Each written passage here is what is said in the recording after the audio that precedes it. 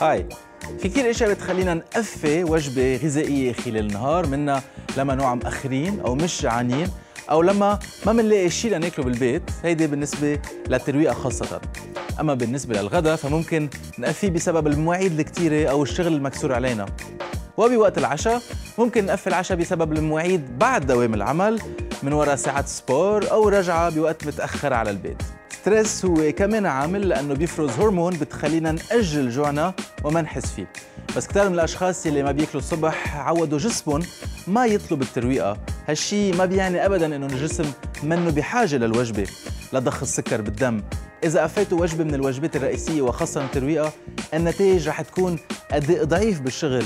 تركيز أقل بطء بأخذ القرارات. كمان بيؤدي لتخزين عدد أكبر من ال calories بسبب حرمان الجسم من الأكل وبيؤدي لانخفاض مستوى السكر بالدم يلي ممكن يشكل خطورة على صحتكم ويحسسكم بالدوخة أو بالنعس ويخليكم تاكلوا كميات أكثر بالوجبات اللاحقة. مين قال إنه ما لازم تقفوا ولا وجبة بالنهار لتحافظوا على صحتكم الجسدية والنفسية وخاصة إذا كنتوا عم تعملوا دايت؟ أنا قال شوفكم بكرة.